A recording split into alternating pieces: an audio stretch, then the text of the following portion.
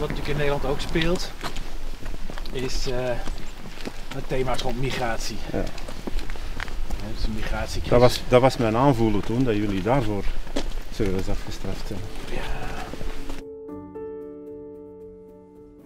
Ik heb eh, bijzonder veel respect voor Jeroen Dijsselbloem.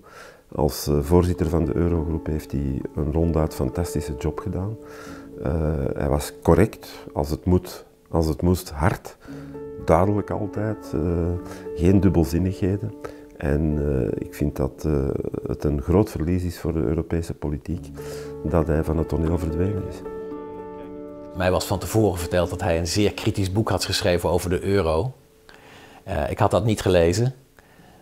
Um, dus ik was gewaarschuwd. Het blijkt niet alleen een zeer aimabele mens te zijn, maar ook op de euro, de eurozone en de ontwikkeling daarvan is hij buitengewoon serieus, gedegen en altijd constructief geweest. Toen was dat nog het EMS, hè? Europees Monetair Systeem.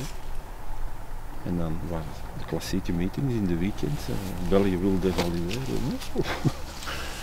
en de, de klerk vroeg 12% en hij kreeg 8,5 uiteindelijk.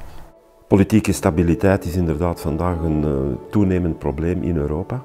En dat is op de eerste plaats een probleem omdat dat de besluitvorming hypothekeert. Ik denk zeker ook aan heel het migratiethema, waar op Europees niveau, vooral wat betreft de bewaking van de buitengrenzen, er belangrijke beslissingen zouden moeten genomen worden.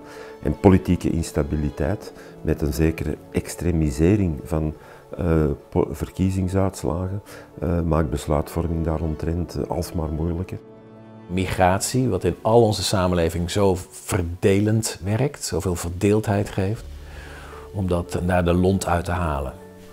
En dat betekent een paar grote meningsverschillen opruimen. Oost-Europa hoeft niet bij te dragen, wat mij betreft, aan grootschalige opvang van vluchtelingen. Dat hebben ze ook nooit beloofd. We moeten gezamenlijk eh, de grenzen veilig stellen.